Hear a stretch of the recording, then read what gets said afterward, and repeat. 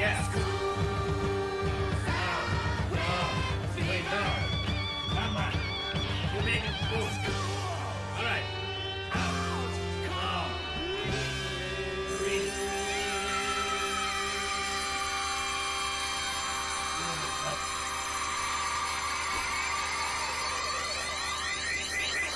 Great, great, great, great, great, great, great. What an amazing song there. From by a fella a fella called Alice. He must have got some ribbon at school.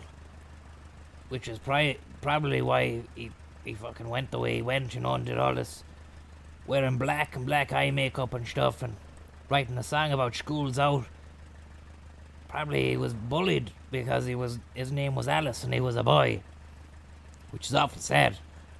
So he wrote a song called School's Out, which was a representation of what he wanted to feel as a child. You know, school's out forever. That's my interpretation of it, anyway.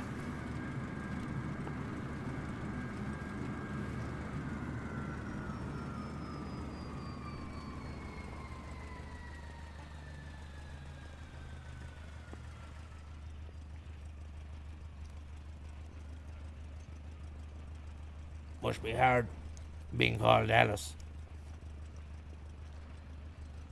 If you're a boy.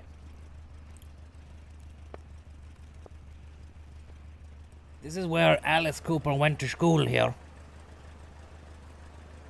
And when he got bullied for being called Alice, for having the name Alice.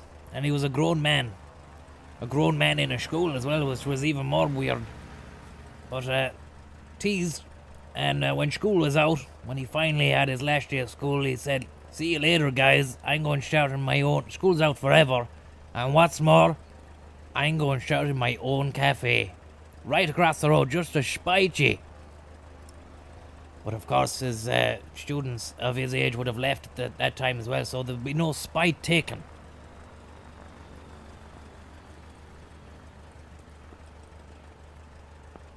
Never mind.